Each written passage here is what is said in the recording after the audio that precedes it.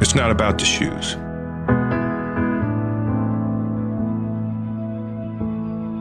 It's about knowing where you're going, not forgetting where you started.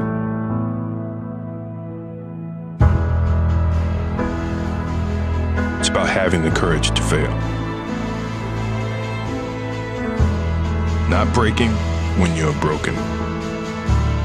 Taking everything you've been given and making something better. It's about work before glory and what's inside of you. It's doing what they say you can't. It's not about the shoes. It's about what you do in them. It's about being who you were born to be.